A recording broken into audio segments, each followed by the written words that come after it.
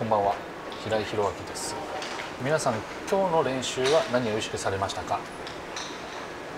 昨日の練習は何を意識されましたか？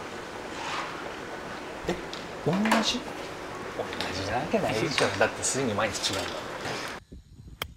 平井弘明のワンナップゴルフ。毎日違うの、毎日、違うよ。体のコンディションも違うし。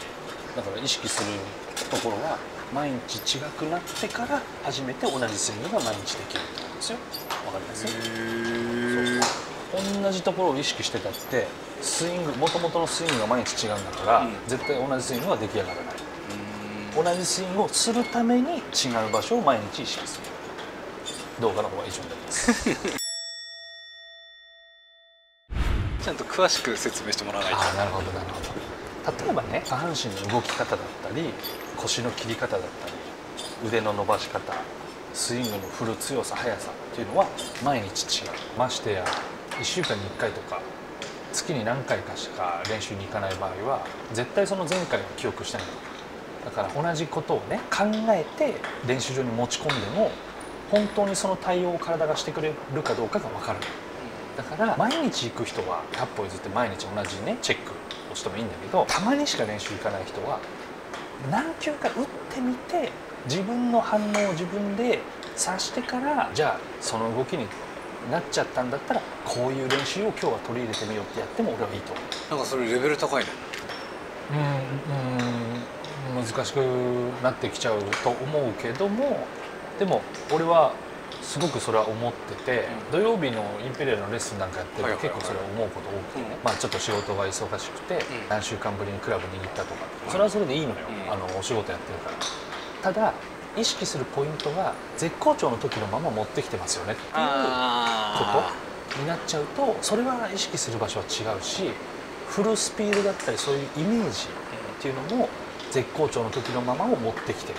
だからなかなか調子が上がらない。今日の調子を上げていかなきゃいけないから、だから今日の自分の反応をまず見なきゃいけない。それは調子いい悪いとかじゃないよ。ね、うん、でその調子の知り方っていうのはやっぱりこれ8番やなんだけど、うんうん、スピード的にはこれぐらいで始めてほしいの、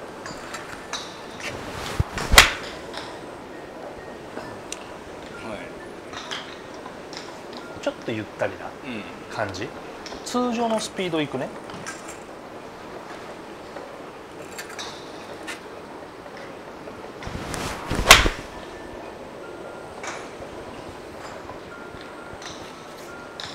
これが通常のスピード、うん、それからするとまあ何割かはちょっと落として1球目なんか打ってると思うんだけどああいうふうにちょっと自分の体の調子だったり、まあ、ゴルフそもそもの調子っていうのを伺いながら練習を開始する。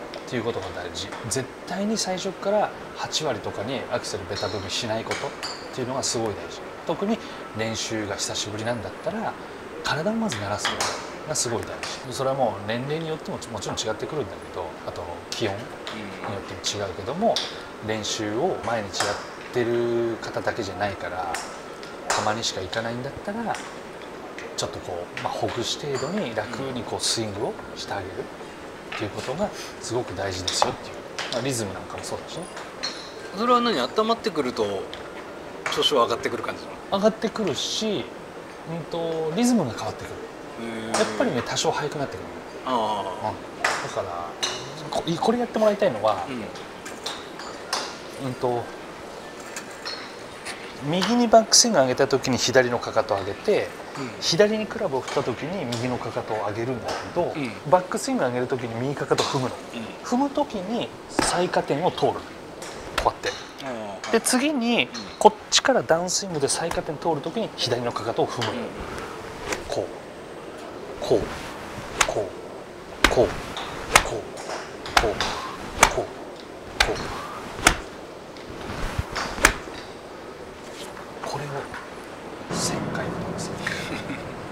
疲れちゃうじゃん。疲れちゃう。これで練習終わりにしても久しぶりだった。ええ。ー、これできないからねみんな。合わないのタイミング。がガッチャガチャになるから。ええー、そうなんだ。そう。このブワンブワンブワンブワンブワンブワンブワンブワンこれができないこれやるだけで全然変わるから、ね、えー、家で踏んなくていい、うん片手でこうやって持ってこうやってやって、うんうん、こう。この6時の地点を通過するときにかかと踏むのこうやって。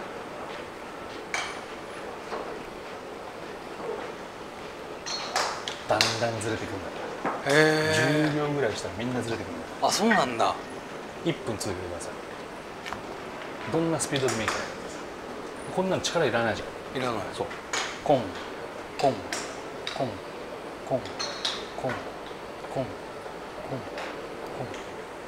それは意識してるからずれないの意識してるし、うん、もう毎回意識してる毎ショットこうパンパンっていうイメージだよねでそもそもの話していいこれ今さ捻転してないじゃん。うん。捻転してないでここに合わないん。だから、うん。転してる人合うと思う余計合わないお疲れ様でした合わないよね。そう。だから難しいの。だから難しいんでちゃんと丁寧に余計なものを入れないでゴルフのスイングに取り組んでくださいっていうことなんですよ。いやちゃんと手打ちで真ん中でそこで打てるようになってからちゃんと回せよって話なんだそう。本当そう。本当にここを通過するときにちゃんとこうカチカチカチカチってなるんだけどあ今踏み踏みもしてないじゃん。あうんうんうん。カチカチカチカチカチカチカチカチカチカチカチカチカチカチこの動作だけで相当リズムって大事だから。えーじゃあピアノやってた人とかってうまいの？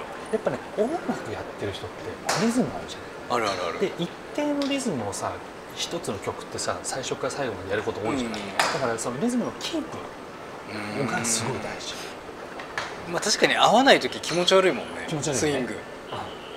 なんかそこでその動きしたっていうのあるあったりするじゃん、うん。で力入れたいところで入らなかったとか、うん。もう入ってたとかあるじゃない、うん。それリズム。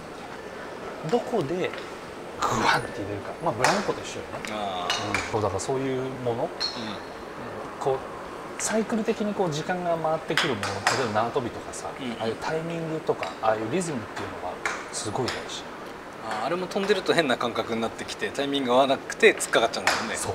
下に回った時にもちろんジャンプするんだけどジャンプした時にかこう来る時もあるじゃないあのそう。リズム狂ってるそうそうそうそう。いうの。ゴルフのスイングにめちゃくちゃ。流れ作業の仕事なんかもねリズムが多いじゃない。ね。音にすると。確かに。うん。一回ずれるとずれちゃうずれちゃうそう。だからそういう時は打席をセットアップ一回外して一回こう仕切り直してやるっていうのはすごい大事だから結構プロなんかスタート前の素振りなんかこうやってこうやってヒールアップしない人でもわざとヒールアップしてこうやってリズムを確かめながらこうやって振ってからこうセットアップに入るうん。方もやっぱ多いしそういうのはいいよね、うん、そういう整えることってすごい大事。結局何が言いたいかっていうと自分のタイミングだったりスピードだったりそういうものでしっかりボールを打てないと、まあ、自分の最大限の飛距離っていうのはなかなか出ないので、まあ、そういう意識で、まあ、打っていただいたらいいですね。でも反対にそのたまにしか練習しないとさ、たまにしかやんない分毎日やってる人より体が軽くなったりするじゃん。ああなんかね。なんかそれが調子いいと思ってさちょっとふわふわするような感じのね。そうなんて言うんだろう。疲れてないから、疲れが溜まってないから体動くみたいな、いう時も調整はしないといけないってこと？調整しないといけない。反対に。